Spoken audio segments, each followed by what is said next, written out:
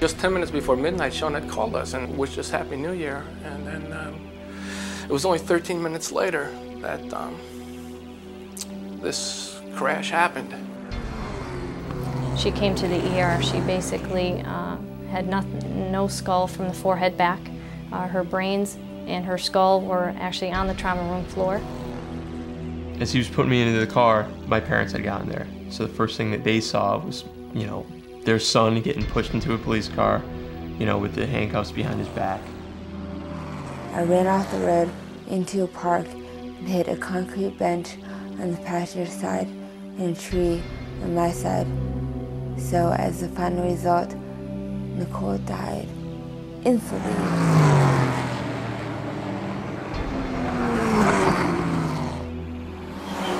Teens are more vulnerable for a few reasons. One being that the way that they assimilate alcohol is different than the adult, and it usually will take less alcohol to uh, cause impairment for someone who's younger.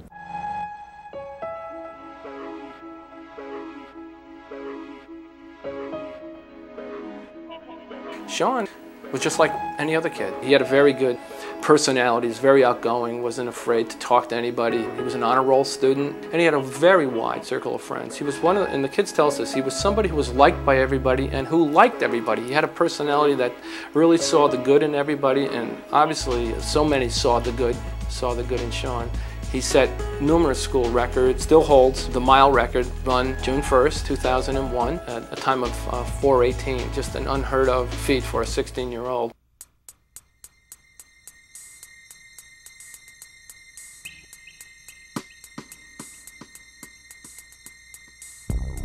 That night, uh, I got off work. It was around, you know, just a normal day. Got off work around 6, 7 o'clock. A friend of mine came over. We went into um, the town right next to us, uh, bought a 12 pack of beer. Yeah, the peer pressure is there all the time. And, and a lot of times, especially in my case, I never felt it. It was never directed at me. It was never someone that came up to me and said, oh, why aren't you drinking or why aren't you doing this? It's more of an underlying thing where you, you know, you see, you see your friends doing it and you think that that's something you should be doing.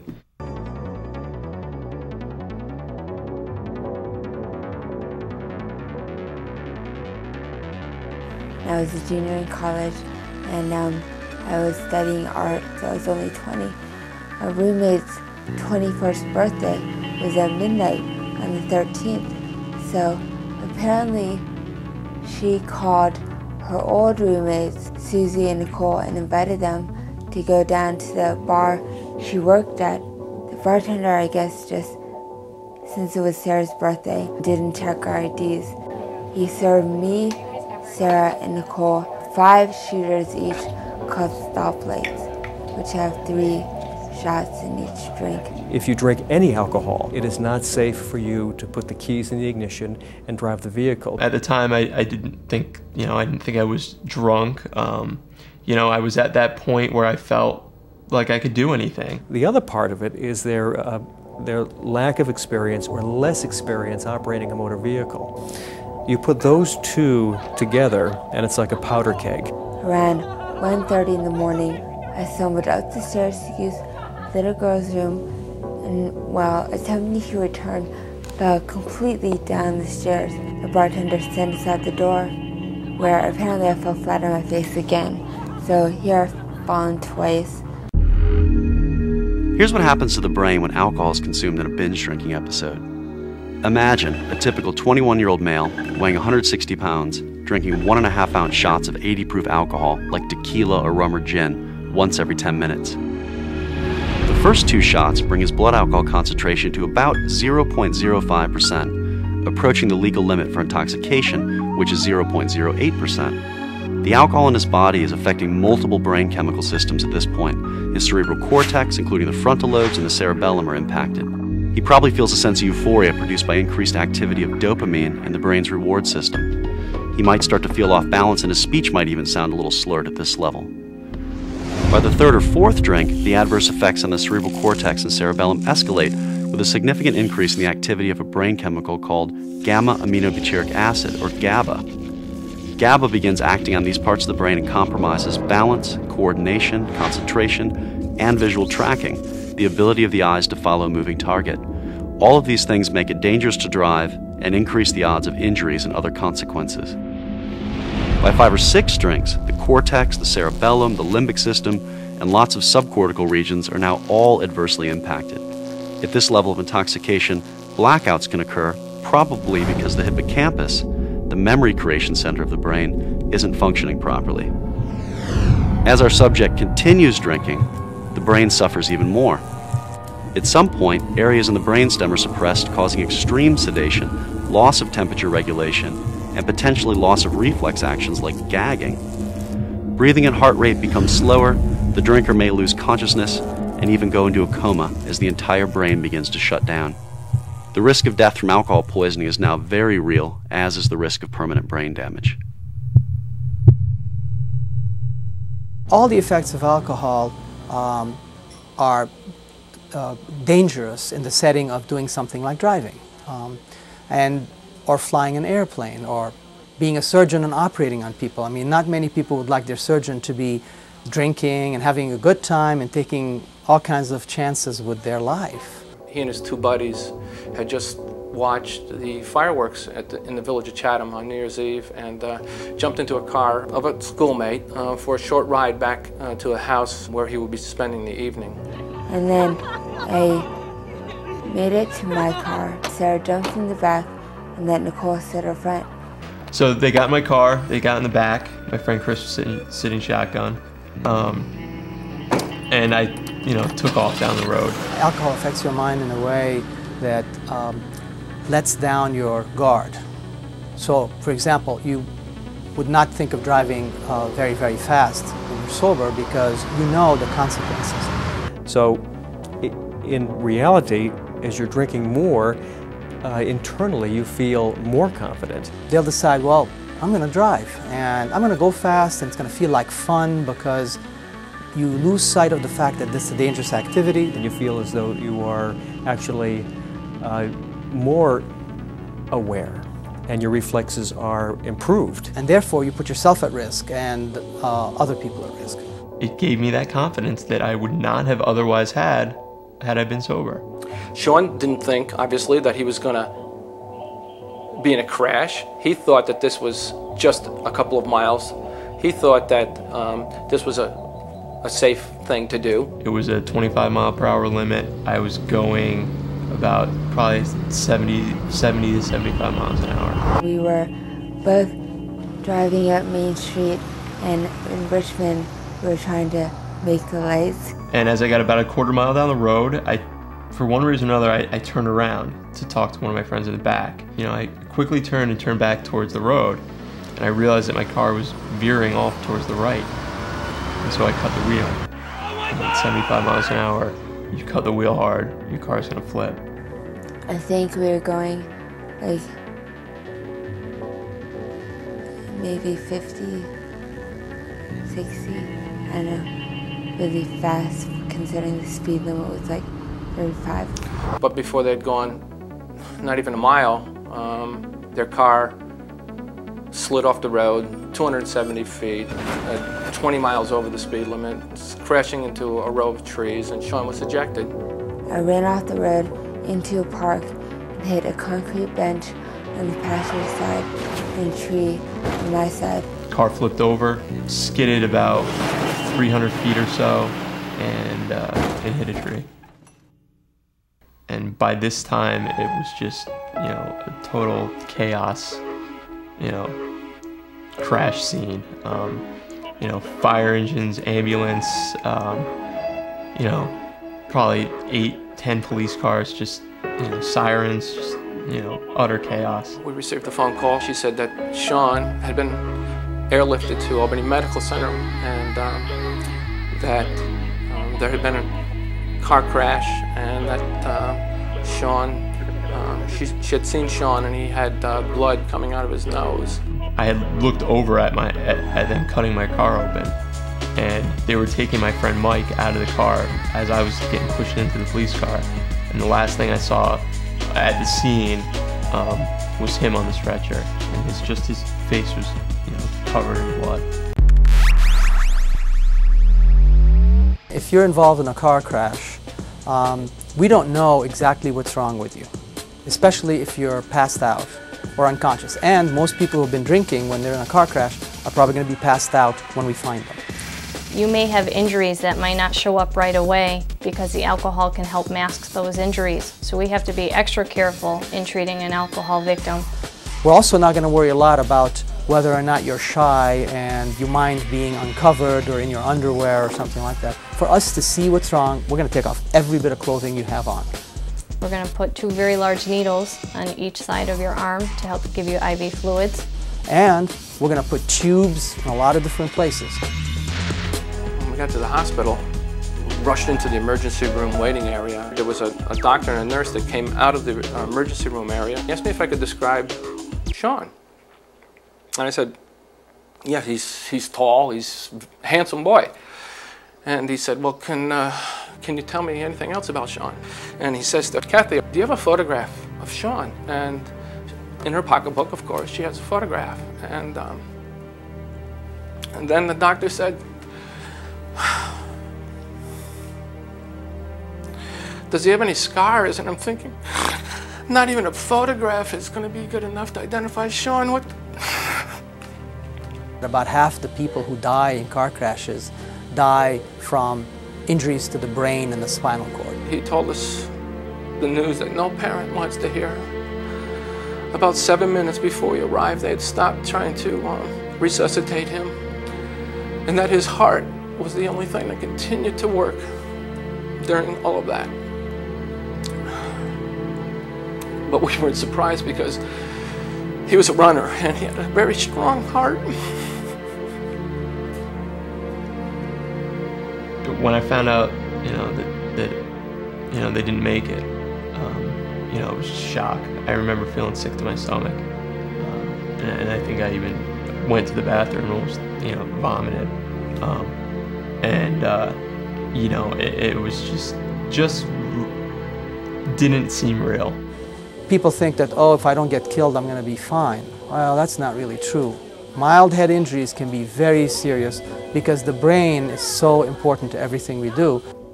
I was rushed to the emergency room unresponsive with seven major body injuries. My face was totally smashed in, the whole left side of my body was broken, and because left side of my brain was smashed, the right side of my body was paralyzed. Very frequently in a car accident, uh, your head is the first thing that will either hit the windshield or the car door. And a lot of times with the, these victims, they have what we call traumatic brain injuries.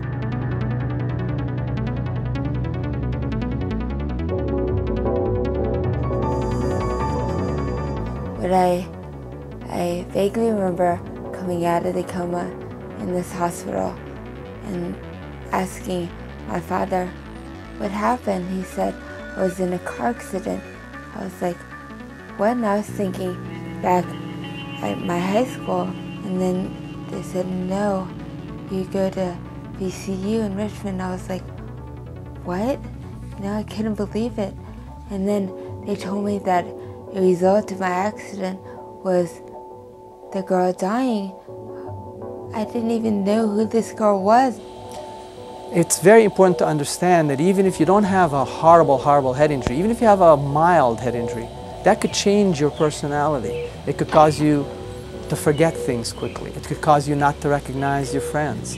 It could cause you not to be able to do stuff that you used to do very well. I mean, you could have been a good guitar player.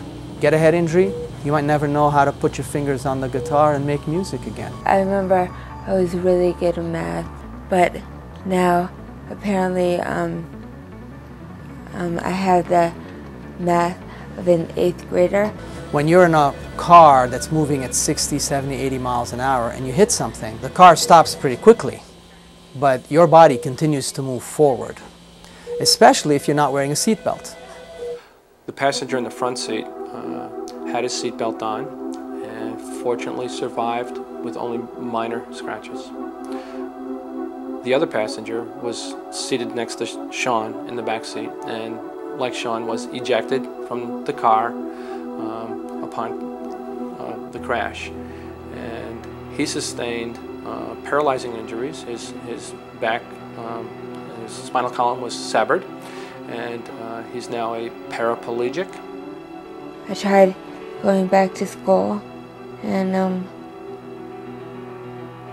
I went for like year and a half, and that didn't really work. and I don't know. I'm clueless as to what I'm gonna do with my life. When we got home from the emergency room, we had to um, tell Sean's brother, Eric, uh, that his brother had been killed in a car crash.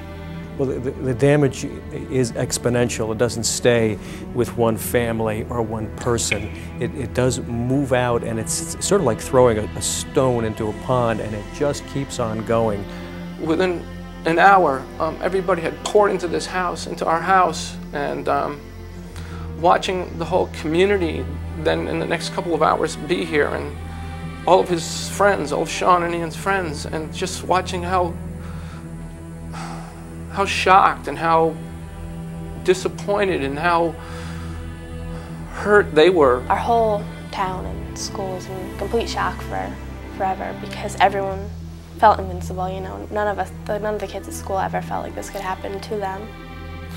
And I think many of them sat there thinking, my God, this was, this was our friend just a couple days ago. We knew this, we knew him from track. He was on the track team. I ran cross-country meets with him. He was with me um, at the prom, and um, we worked together at a, at a restaurant, and we used to go to the movies together. I miss just hanging out with him and his jokes, and track's different without him. It's less crazy, it's not as loud, and um, I miss that a lot. I just miss seeing him all the time. The impact extends beyond the families of the victims who have been killed or forever paralyzed to the third passenger, the young man in the front seat, who may have escaped any physical injuries, but who knows how this is going to, what scars emotionally and mentally he has over this. But, but finally, the fourth, the driver. That pain continues as well.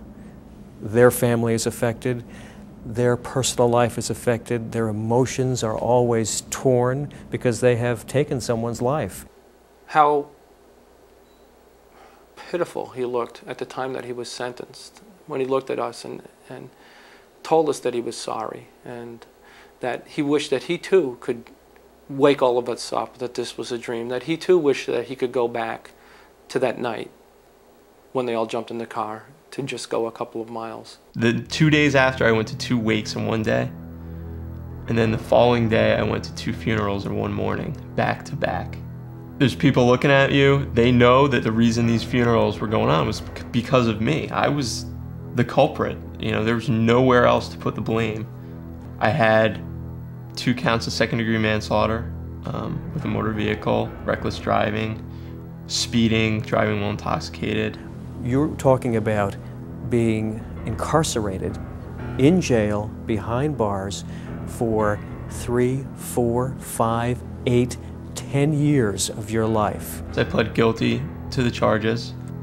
The judge took a recess, came back, uh, sentenced me to 10 years in prison, suspended after four, uh, five years probation, 1,000 hours community service, AA, random urinalysis, no driving while on probation.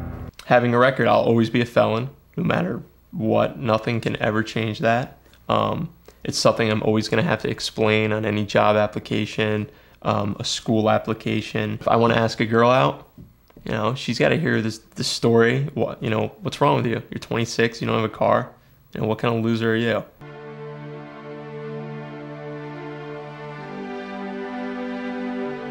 You know that if you confront them, the reaction is most likely going to be negative. They're going to say to you, hey, look, I'm fine back off, I know what I'm doing. And at that point, what do you do? Here are the, the things that you should think about doing. Plan to stay where you are. Call a cab. It's not that hard to do. Call a friend who may be able to come out and assist you and bring you back to your home. Or have a pact with your family, with your mom and dad, and that pact will enable you to call them without any fear of repercussions and say, listen, I messed up. Can you please come and get me and bring me home? Lord, I would have I would have loved to have received that phone call, and I wouldn't be sitting here then today talking to you if I, if I had received that phone call. One of the most difficult situations that you can find yourself in is being sober yourself and watching a friend or a loved one who is intoxicated, impaired, about to get behind the wheel and drive. You need to then take another step and either try to convince them that this is a big mistake or make a strong effort to get the keys out of their hands and insist that they are not to get behind the wheel. A lot of kids don't feel like they're gonna necessarily get in an accident. However, a lot of them, when they get in the car with people, do feel nervous or do think about the consequences. It's like putting a gun to your head and spinning the chamber with the one bullet. Is it gonna happen to me? Am I gonna be able to get home safe? It's just a mile down the road, and this guy looks like he can stand up and it looks like he can drive. And you know what? I've known other people who've been able to drive drunk and they got home safe. So why won't it happen to me? Those people are lucky. I got away with drinking and driving for three years. Every weekend, I would go out and I would drink and drive, and I would get home all right that night. Um, and my time ran out. It's, it's not just that you got the license and I'm just going to go do these things. No, you got the license, but you've got a big, big weight we've put on you. And that weight is the responsibility for the lives of everybody else that's around you. It might sound stupid, but it's not. Like, you know, I thought it was stupid, but now this happens, and I'm like, that's not dumb. I don't want to lose another friend or.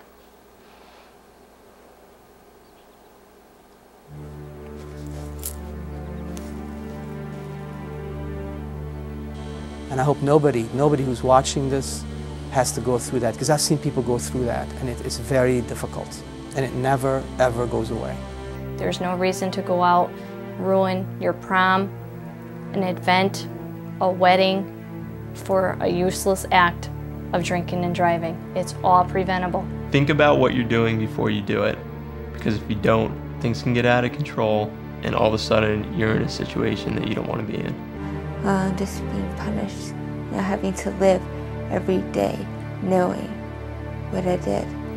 Still to this day, I've been, you know, I think about him every day, and I just think that it's something that could have been easily avoided. What will it take before young people decide that they're not going to let that happen to them and they're not going to let it happen to their parents and to their families and friends and that they have the control that they can make the decision to be safe. Every day i think about it. And you know well you know all the what ifs you know if i had done something different if i could go back um, you know and, and that'll that'll that's that's forever. That's that's that's not going to change